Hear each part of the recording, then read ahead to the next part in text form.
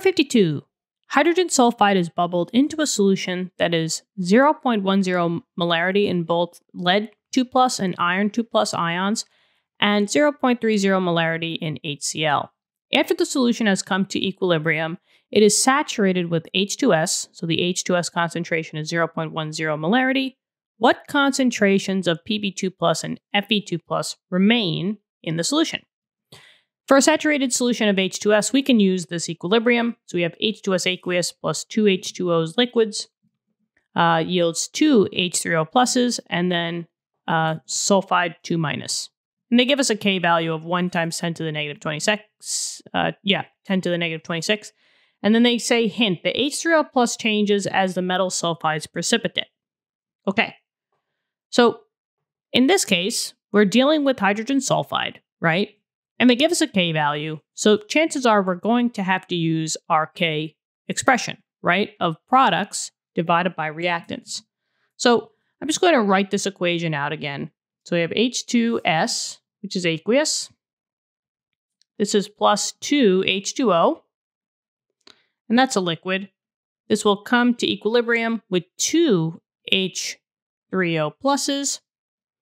That's aqueous.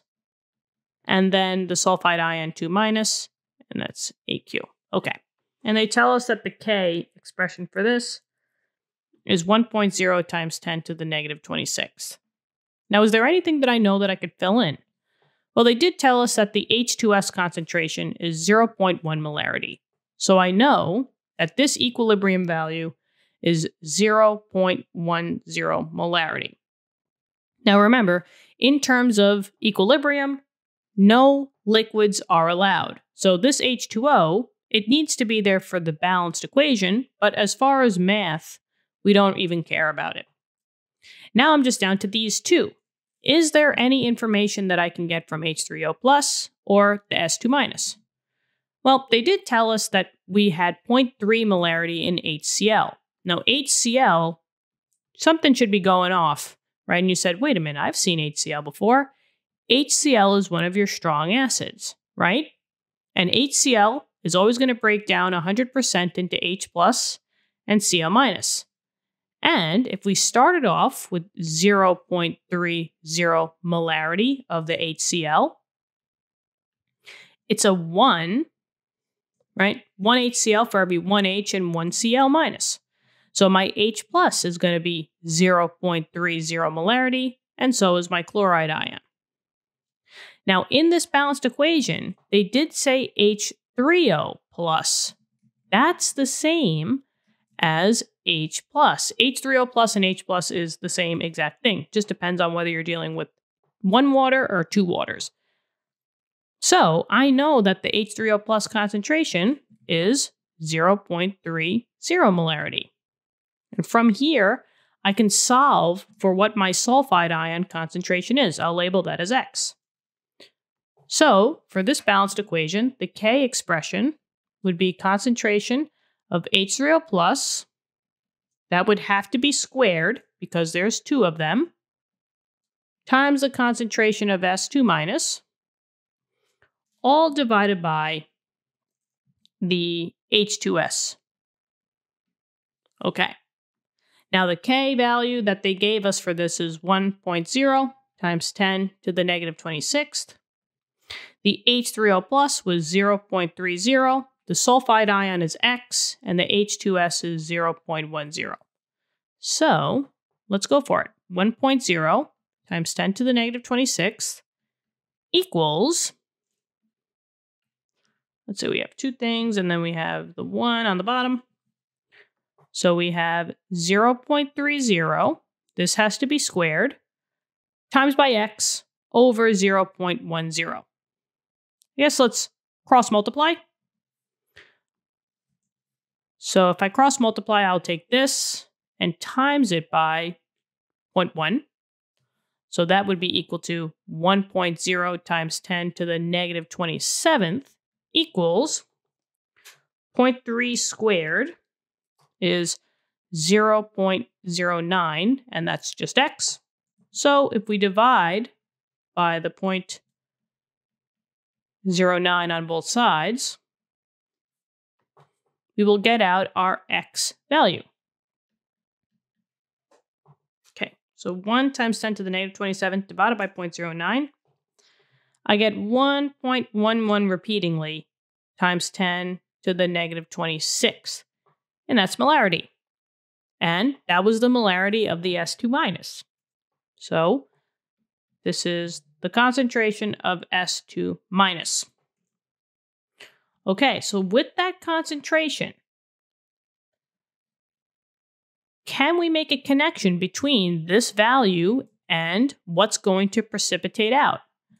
Well, if I went in the back of the textbook, I did find that there was two uh, compounds in which had the sulfide ion. There was PBS, that was the lead and the sulfide, and then that was the iron and the sulfide. So I picked those up and I wrote down the um, corresponding KSP values. So from this example, we can find out how much should precipitate, right? So pause the video if you need to. I'm just going to get rid of this equation. The only thing that we need left is that sulfide ion value. So that goes bye-bye. This is just going to come up here.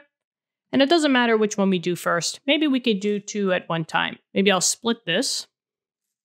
And I'll say, okay, on the left side, we're going to deal with the, the lead 2 sulfide. So we have PB, S, that's a solid. This will break down into its two ions. PB2 plus, they told us that. So that's aqueous, it has a charge. And then the sulfide ion, 2 minus, that's also aqueous. And they told us that, well, we found it out, that the sulfide ion is 1.11 times 10 to the negative 26 molarity. We're trying to find out what is the concentration that's going to be used if this is that concentration. So I'm just going to label this as X. Let's do it for the other one. So we have Fe, S, that's AQ.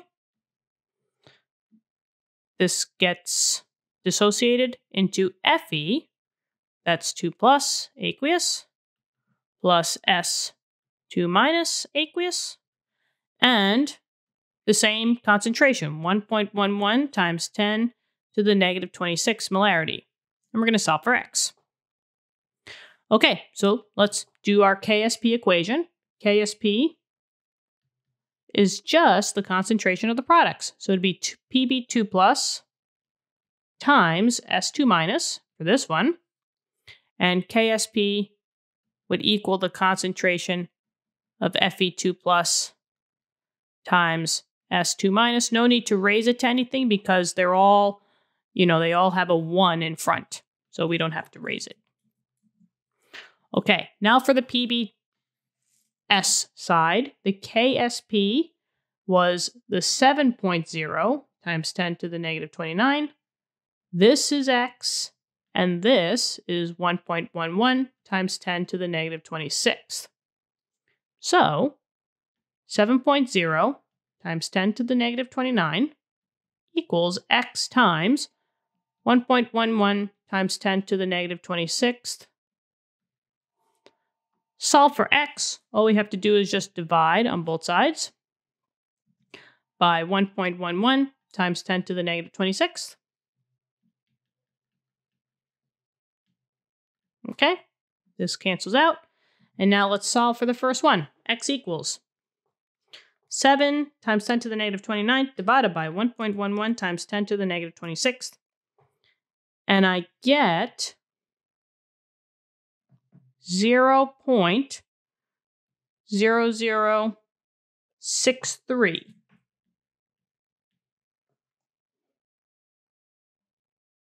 That looks about right. 0.00631, we'll say, molarity.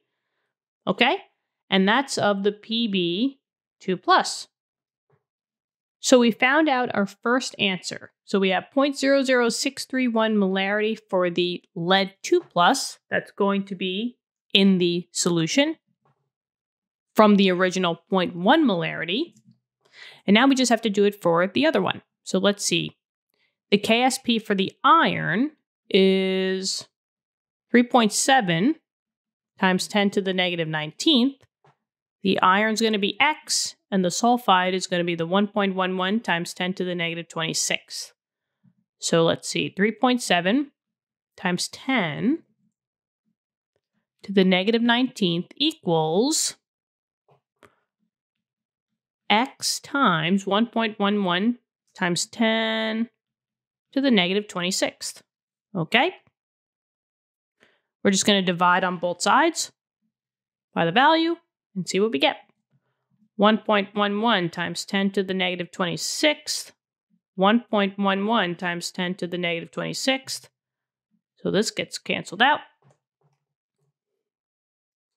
And I have 3.7 times 10 to the negative 19th divided by 1.11 times 10 to the negative 26th. And this one, I get a really, really, really big answer.